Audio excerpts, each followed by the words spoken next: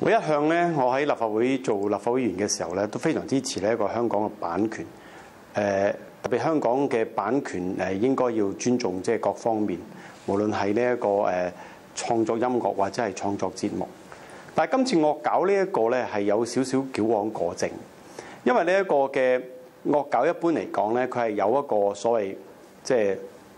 惡搞嗰個人都好啦，佢唔係完全複製原有創作嘅。佢喺原有創作嗰個基礎下面咧，係要有一個所謂叫演變又好，或者扭曲又好，而係將佢再再做咁樣樣。咁呢個已經同原創作嚟講咧，係個概念上已經係有相似，但係唔一樣。而將呢一個所謂惡搞呢樣嘢變為一個即係規管嘅行為上面咧，呢個係有少少危險，亦都應該講將嗰個所謂版權持有人嘅權益同埋呢一個使用者嘅權益咧，係失去平衡嘅。版權嚟講一向咧都比較着重係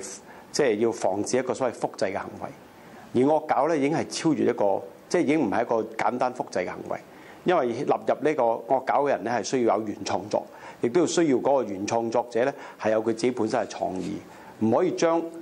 版權人嘅利益咧視為係絕對嘅。